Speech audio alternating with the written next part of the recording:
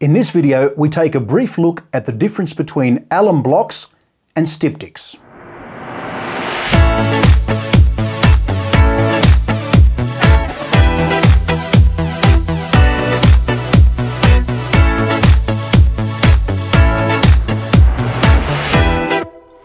There are definite differences between alum and styptic pens or gels.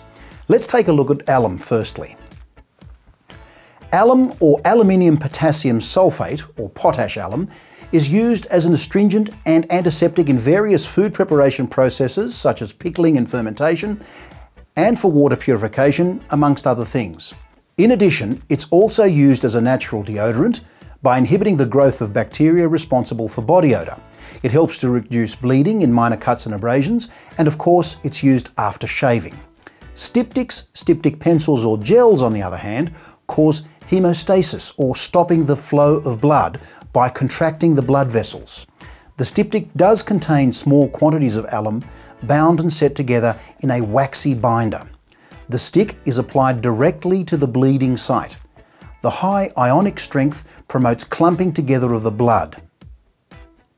So, in summarising, the alum is used primarily as an astringent and antiseptic. In other words, it closes the pores and kills bacteria. And the styptic pencil or gel is used to stop minor bleeding, nicks and cuts. Thanks for watching.